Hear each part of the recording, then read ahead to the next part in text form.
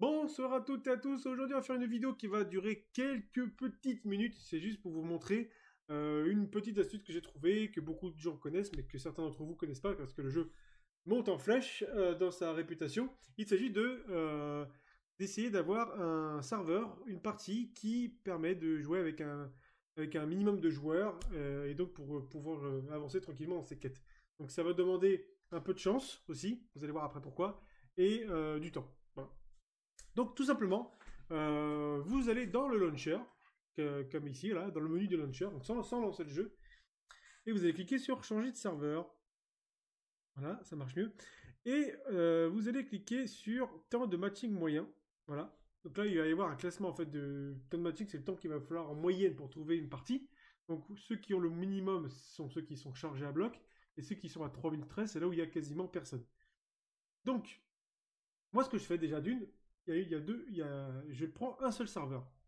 Et toutes les heures, je change. Parce que selon la journée, bah, le, fuseau horaire, euh, les gens vont se connecter euh, sur certaines personnes. par exemple, en Angleterre, il y a une heure de décalage, etc. Ou ceux qui jouent en Amérique, parce que vous allez voir que les serveurs américains n'ont pas forcément un gros ping. Et des fois, il y a 5-6 heures de décalage, ça dépend où vous vous trouvez en Amérique. Donc, voilà. Donc, ce que je vous conseille de faire, c'est simple. Pour pas, euh, pas trop attendre non plus, parce que des fois, ça matche pas une fois que vous êtes en, recherche de, game et que vous dépassez les 5 minutes 30 secondes, ça sert à rien. Ça va être compliqué de trouver une partie, euh, c'est foutu. Du coup, moi, ce que je conseille, c'est de choisir un serveur, un seul, vous allez voir pourquoi après, qui est entre 40 et 45 secondes, c'est ce qu'il y a de mieux. Là, vous voyez, Chicago, 99 de ping. Euh, la, Suède, hier, je joué toute la journée sur la Suède, c'est superbe. Euh, il y en a les, les Donc moi, je vais prendre Suède. Donc vous voyez que là, il y a 38 euh, de ping, donc c'est parfait. 46 secondes, donc c'est pas trop mal. On peut tenter le diable avec euh, Atlanta aussi, sinon pourquoi pas. Mais 51, ça commence à faire beaucoup. On va faire plutôt Suède, voilà. Donc pourquoi choisir qu'un seul serveur et pourquoi pas multiplier ses chances avec plusieurs serveurs? Parce que moi, quand je meurs, admettons que je suis en PMC, en USEC ou en BIR, je meurs, tout de suite, je lance le scav sur la partie où, sur la même map et le même horaire que j'étais, et il y a une forte chance, il y a au moins une chance sur deux ou sur trois, euh, de mon expérience, hein, parce que j'ai quand même plus de 800 heures de jeu, euh, de retomber sur la même game, sur le même serveur, et donc des possibilités d'aller se revenge très rapidement, si vous êtes chanceux, une fois de plus, et d'aller récupérer son stuff. Donc voilà. Donc en tombant, donc admettons vous tombez sur un serveur, euh, il s'est pas dit qu'il y ait personne. Il s'est pas dit que vous tombiez pas sur des joueurs full stuff. Ça peut être exactement comme un, serveur où il y a que 15 secondes. Ça peut être exactement pareil.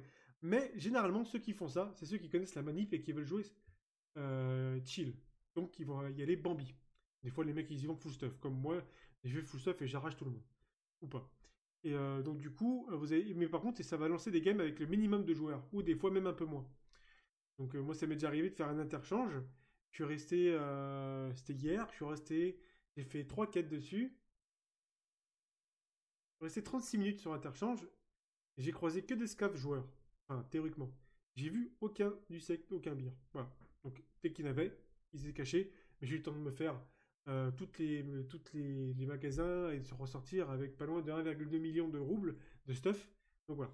Donc c'est la chance et du temps. Parce qu'il faut du temps. Donc je vais pas plus loin sur cette, euh, démonstration. Je vais pas vous montrer ce que ça vaut. Ça prendra trop de temps.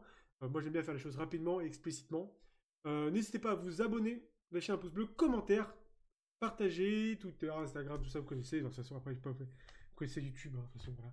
Donc, je vous dis à très bientôt pour une prochaine vidéo. Ciao.